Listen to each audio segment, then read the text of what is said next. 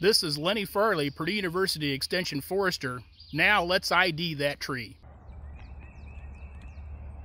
In this edition of ID That Tree, we're going to introduce you to an exotic and invasive tree species that unfortunately is now found quite commonly on the Indiana landscape, and that is Callery pear. Callery pear has been planted as an ornamental in Indiana and the Midwest for decades, and the original selection, Bradford pear, was actually infertile and so would not spread from seed. But additional varieties have been planted and have crossed with the original Bradford, and those are producing fertile seed that when birds and other wildlife eat them, can spread them far and wide across the landscape. Now this particular tree species can grow quite rapidly and produce flowers and fruit as a very young individual.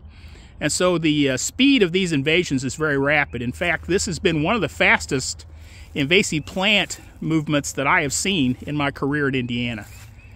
And all the white flowers that you see on the landscape here coming out represent Bradford or Callery pear that has invaded this site.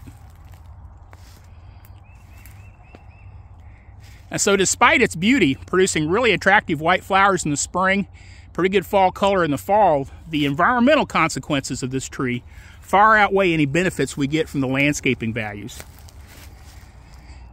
Bradford pear has alternate leaf arrangement oblong to almost egg-shaped leaves that get rather glossy and waxy colored, uh, covered during the growing season and do produce uh, fairly bright fall colors, oranges to reds in many cases.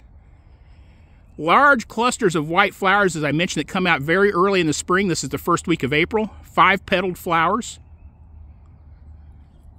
We do have another native species, a Juneberry or serviceberry, that produces flowers about this time and is a really excellent replacement uh, as a native landscaping tree for Bradford, Callery, or any of the other variety of pears that are causing so many environmental problems.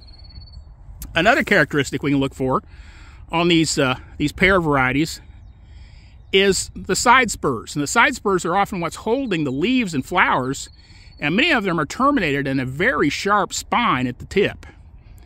Smooth stems with light colored lenticels.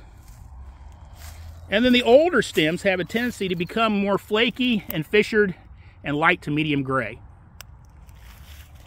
So we highly encourage you, if you've got Bradford pear or any of the other pear varieties in your landscaping, to replace it with a good native like Juneberry, Serviceberry, Redbud, Crab Apples, if you see these growing wild on your property, attempt to control them and prevent that seed spread. Uh, help us save these landscapes from this rapidly moving invasive plant.